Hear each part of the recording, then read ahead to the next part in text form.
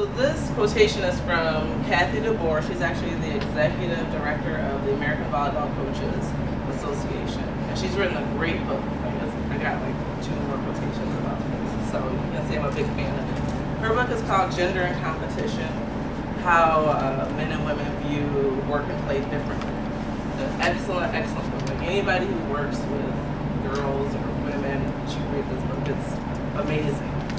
So I, I, really like this quotation of her saying that in the long run, the value of sports has little to do with the sport. It's really teaching females to appreciate battle and for males to value bonding. At its best, sport teaches us how to be whole people and thereby prepares us for a more successful life. Now, obviously, I like that you guys like that you're coaches, and that's what we do. But I, I really believe that. I really believe we're making better people by coaching them.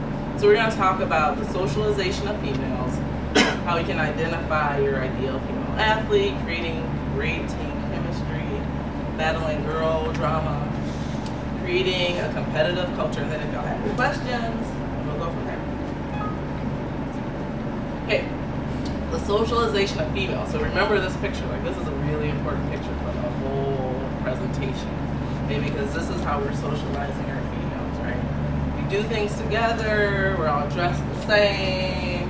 Everybody's doing the same thing. There's no leaders. Everybody's all on the same level. Okay, so this is what we're. This is how we socialize our females. Okay, so Dr. Leonard Sax is like an expert on single-sex education, and I, I really like that idea because that's what I do. I, I coach a single-sex. I don't co-ed. I don't teach a co-ed team. I just work with women. I really want to know why does he think that it's better to teach people sex. And, in an article that he wrote called uh, Why Gender Matters, he says, so there's no differences in what girls and boys can learn. And before I keep going, this comes from everybody's heard that girls don't do well in math or they don't like science and all this. And he's saying that's not true at all. Like we're putting all this stuff on girls, it's just not true.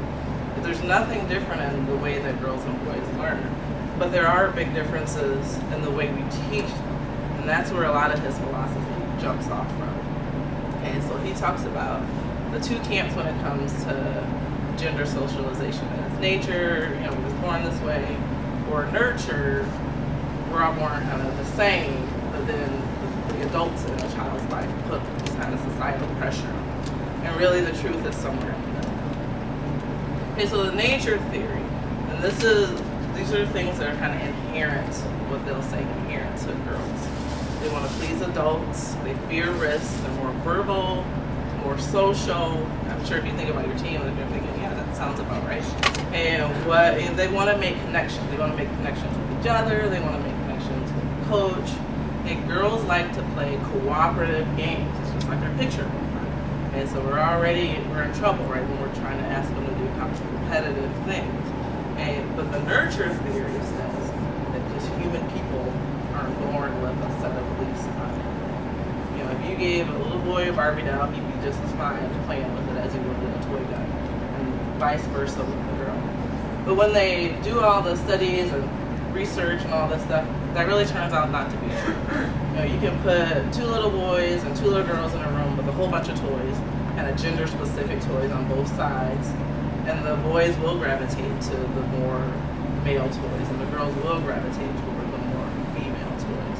Okay, so then they take it another step okay, well, we'll put girls in a room and we'll just put stereotypically male toys And what they do is they feminize the toy, right? So the gun be, becomes part of the tea party that she's having. And the same, you know, the opposite is true with the men or with the boys. Is the Barbie doll turns into a gun. Right? They're, it's just sometimes they're just wired different. Okay, so there are certain things obviously that we do in terms of nurture. Um, pink nothing that says that girls wear pink. There's nothing that says that girls have to long hair. There's there's things obviously that we do to increase those things, but there are certain things that are just inherent to your female athletes. Okay, so this is my Kathy DeBoer again. Remember I told you I really like this book, Gender and Competition. It's excellent. You should go get it. Okay, so it says until recently it wasn't politically correct. You couldn't even think of women as different. Like if you said that a woman was if it's everything's going to be equal and fair, then she just can't be different. So now we can say that it's okay that a woman's different. You're not saying that that's a bad thing. Okay, I think that that shows that we've come a long way. Okay, so why is this important? Well, it's important for me so that you don't think that I'm just coming up with this stuff off the top of my head. Like there's people having serious conversations about this in the academic world. And then as coaches, we have to know what we're working with when our athletes walk in the gym. You know, they're they're coming in with a whole lot of stuff, and we got to make sure that we understand how to work with them and the different like, societal pressures, even at young ages, that are on them. When we're asking them to be competitive, when they're a nurture says let's be cooperative. Okay, so like I said, if you can agree that women are different and there's nothing wrong with it, not better, not worse, just different. Okay, so if we can agree that they're different, then we can agree that motivating them may be a little bit different as well. Okay, so our ideal female athlete. Okay, so this is a quotation from Emily Wiley, and I love this quotation because I thought I was the only one out there who thought like this. She's a charter school teacher at an all-girls school, and she says it's her subversive mission to create all these strong girls who then go out into the world and be astonished people try to oppress them. And I thought I was the only one who felt like that. You know, I want my team to go out and take over the world. Like seriously, I, I mean, I'm saying it totally seriously. Like I want them. I had a girl in my office the other day. I'm like, you're gonna be president one day. Like you're just amazing. And that's what I want. Like I feel like we have that power to to give to these young people. So Franklin Covey says to begin with the end in mind. So when you think about your coaching and the athletes that you're working with, I mean, obviously you want to teach them skill work, you want to win your games and all that, but it's got to be something bigger than that. You can't do coaching just give me for coaching. You got to do something bigger with it. So what's that big thing that you want to do? And, and it really should, it'll, it'll influence everything you do, like how you deal with your parents, how you deal with your athletes, and it should influence how your, uh, how your team interacts with one another. Okay, so here are my eight characteristics of an ideal female athlete, which not coincidentally are just like eight characteristics amazing person like I could really do some wonderful things in the world. And there's a book, I wrote this, this is a chapter, it's from a chapter that I wrote in a book. It's called, like it says there, They're Not Boys Safely Training the Adolescent Female Athlete. And that book is more about like, actual training and preventing injuries and all that kind of stuff but he wanted to talk about the mental aspect of coaches working with females. So my uh, chapter in it was called a navigational map for coaching female athletes. And these are my eight things, like confidence. So like the real stuff, not the confidence, like I did something really well, so I feel good about myself. But then I do something wrong and I feel like I'm the worst player ever. But like the real stuff that even when things are up and down, they still feel good about themselves. So we can get that to our athletes. That's a great thing and success. When we want our athletes to experience success, and there's I think there's ways we can do that every day in practice.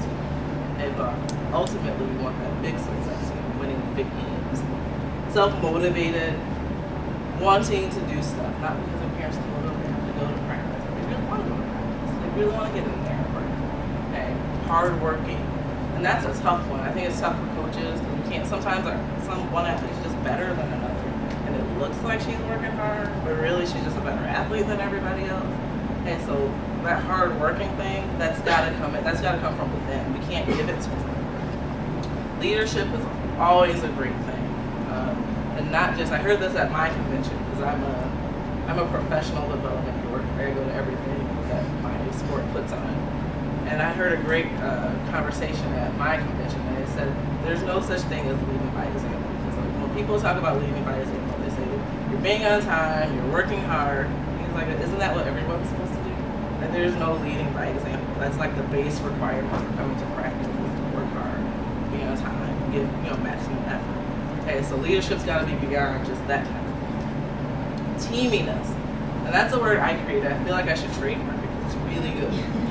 it's being it's the team's first. Like, I'm gonna do whatever I need to do for the team. You know, you tell her, you tell one of the girls on your team, we need you to play a position you've not played before because somebody got hurt. Sure, coach.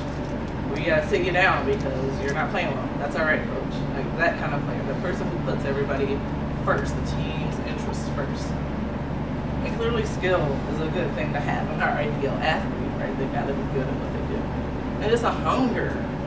I don't know if you guys have had athletes who are skilled but not like hungry to get better.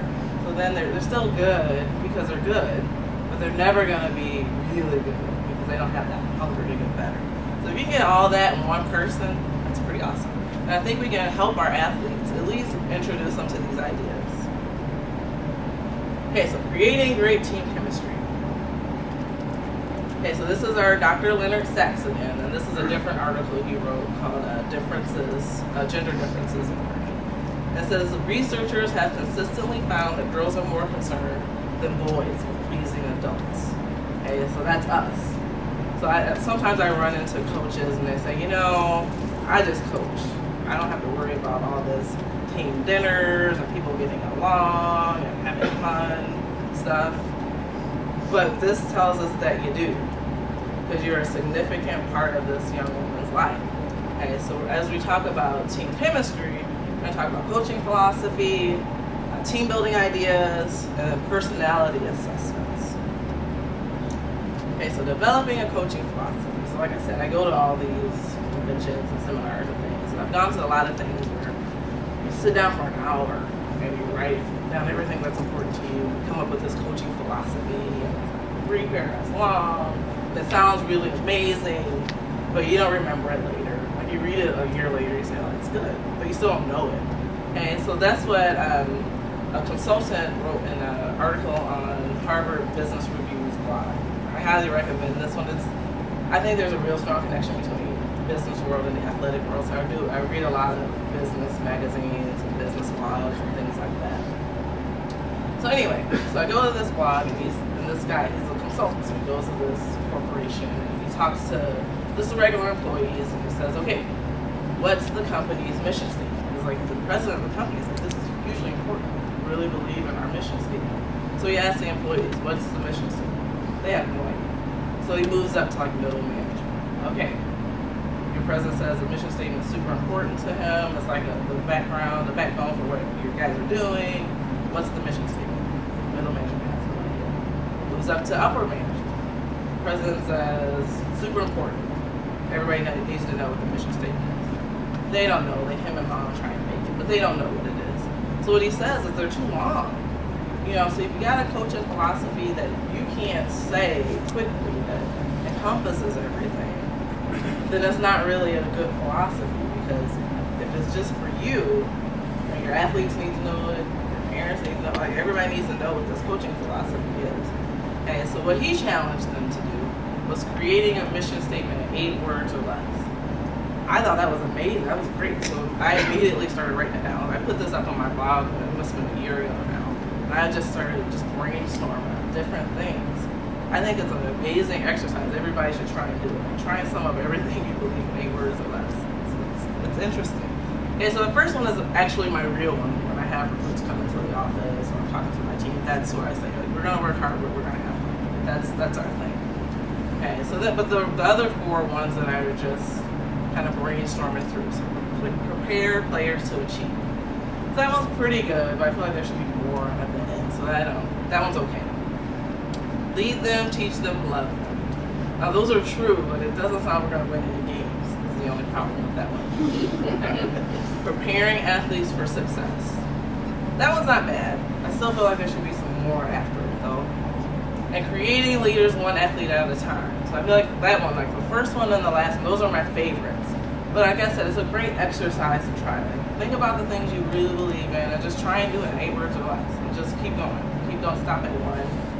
Going. Like these are, believe it or not, the best that I came up with. I had some that I didn't put up there. But it's really it becomes a guiding post for everything that you do.